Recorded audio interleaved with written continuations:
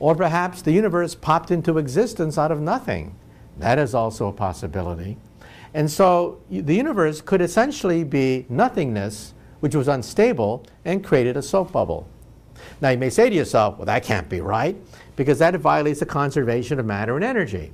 How can you create a universe from nothing? Well, if you cal calculate the total matter of the universe, it is positive. If you calculate the total energy of the universe, it is negative because of gravity. Gravity has negative energy. When you add the two together, what do you get? Zero. So it takes no energy to create a universe. Universes are for free. A universe is a free lunch. And then you may say to yourself, well, that can't be right, because positive and negative charges don't cancel out. Therefore, how can the universe be made out of nothing?